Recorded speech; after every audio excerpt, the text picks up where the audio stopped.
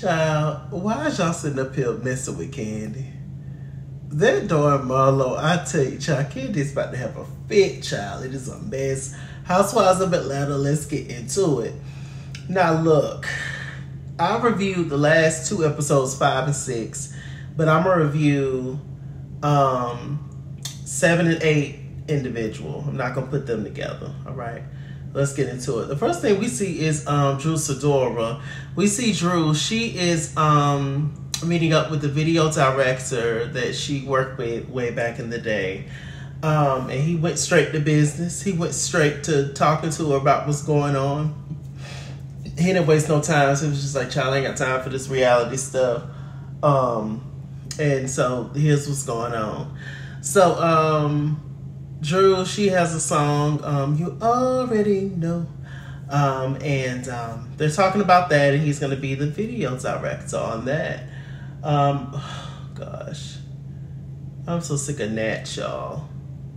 If y'all see me do this or whatever the move might be, it's because I'm swiping Nat's child.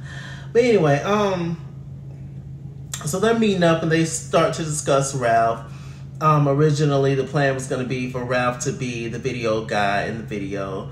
Um, but the guy doesn't, the director, he doesn't know how Ralph's body is set up currently. So he was just like, well, look, just in case Ralph is, is out of commission, um, we're going to need some second options. So Drew is going to have to end up um, breaking the news to Ralph.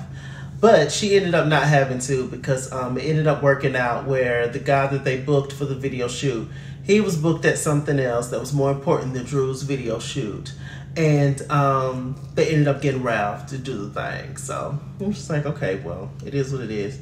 It was getting all freaky deaky doing rehearsal and everything. And I was just like, chow. Stunts, shows, stunts, and shows. What else we get?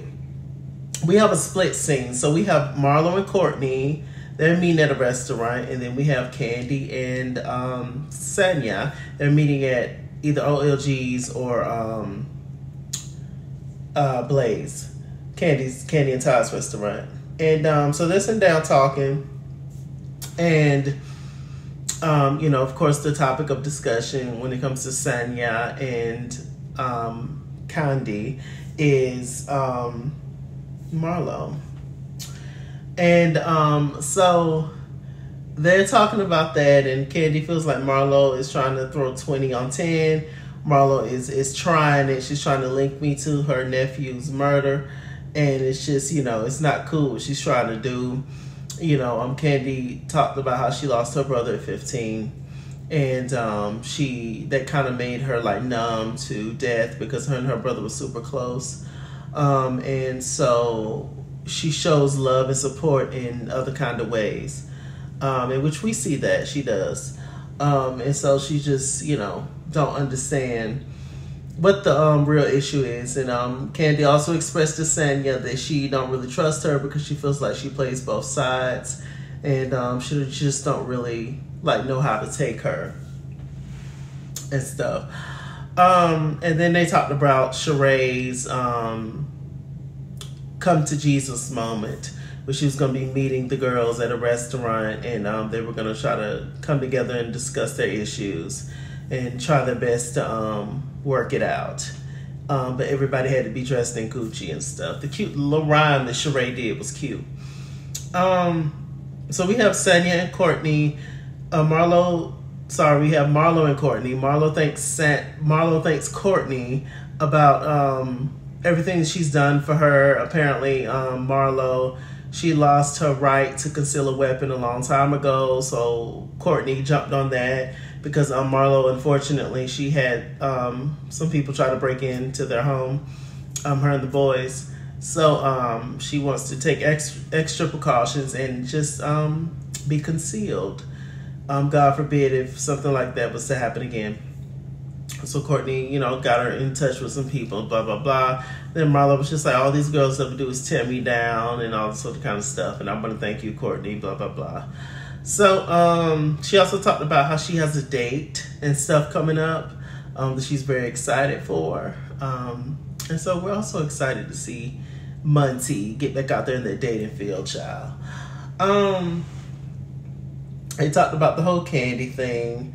Um, it's just you know regurgitated information, all the stuff that you know um, that she's been saying, but she wants to apologize, and, and she do hate how everything happened, and and blah blah blah, and I'm just like, child, it's getting old.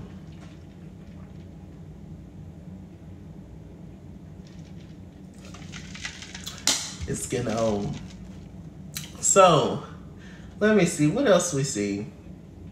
Um, hmm. We see um Kenya. Kenya, she met up with her doctor who um, you know, delivered Brooklyn. And um Kenya is interested um in having another child. And Kenya is how old is Kenya? 60 no kenya is um 50 something or another. Um and she wants to have another baby. The thing is is that she um her embryos that she have is with um Marc's um sperm. So they're already fertilized and ready to go and so she would have to, she says, if she feels obligated to have another conversation with Marc, and which I understand that because it is, it would be his child too, or whatever. Um, but she definitely wants to do something with those. And so she wants, wanted to discuss the possibility of having another child. And the lady was, in so many words, the lady just told her, your ass is too old. And, um, you know, you had a super duper rough pregnancy with Brooklyn. She said out of her 32 years of practice, that was her worst experience. Um, and so she says that, um, you know, she don't know if this would be the best option for her. Kenya's all upset. She said she didn't consider all the, all the, um, possible bad things with, um, you know, carrying, um, another child and stuff and everything. Um, which I don't know how, but you know, she just she says she just wants to playmate for Brooklyn, which I understand that. Um, you know, so we're gonna pray for Kenya in her journey.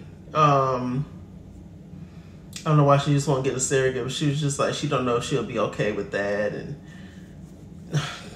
there's no other option really. Kenya says, um, you know, we got to keep you here, and the doctor literally telling you that if you want to have another baby, you having another baby out your own body is just not going to be the tea. So, you know, hopefully. But Child King is still married to Marc. So, what a mess. What a mess, I tell you. Um, okay, so the last scene was the ladies they met up at the Gucci event, Sheree's Gucci event. She gets emotional and drops a tear, I believe. I couldn't see it, but she did drop a tear apparently. And um, she was just like, it's just a shame that we can't get along, blah, blah, blah. So the first beef that was squashed was Kandi versus Courtney. They apologized. Um, well, Courtney apologized and stuff, and she was just like, you know, me and Kandi's issue was not that deep, and um, you know, I'm glad that she came and, you know, extended the olive branch and stuff and she took it and blah, blah, blah. And Kandi was just like, yeah, because what we was arguing about was stupid, which I agree. So the next thing was Kenya and Sanya. I was saying it feels like Kenya is um shady towards her and stuff. And Kenya was feeling some kind of way about saying it this whole time because Sanya went on Watch What Happens Live and basically kind of alluded to the fact that Marlo may be right in saying that Kenya's butt is fake. And Kenya felt some kind of way about that. And I'm just like,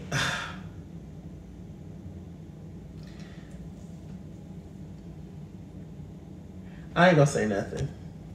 I'm like, Kenya girl, please. I'm like, is, is that what the the T is? Uh, Kenya, it is.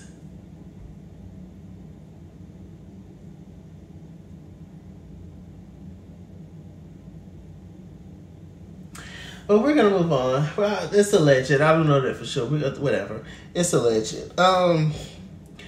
So uh, Kenya was just like, "Well, I don't really trust you saying it. I'm just trying to figure out the tea." Blah blah blah. and the thing is, is that um, the groups are divided. They are. It's four and four on each team. Um, nobody, I don't know who's really friends on this cast. It's it's just very interesting. This is very very interesting. Um, yeah. So I don't know. I don't know. It's just, it's an interesting season. Um, let me see. So the last thing was Marlo and Ken Kandi, but they didn't really get to discuss their issue because Kenya she kept interjecting. You know, she kept making comments. At one point, she asked Sheree to hold her because you know she felt like um, Marlo was spewing BS and um, Kenya was doing the absolute most, and and Marlo got upset and she ended up leaving. Um, because obviously if she would have cussed Kenya out or slapped Kenya, whatever, they of course, you know, that would be the narrative that they try to, you know, um, spear constantly when it comes to Marlo. So she ended up leaving. Sheree went out there to go get him.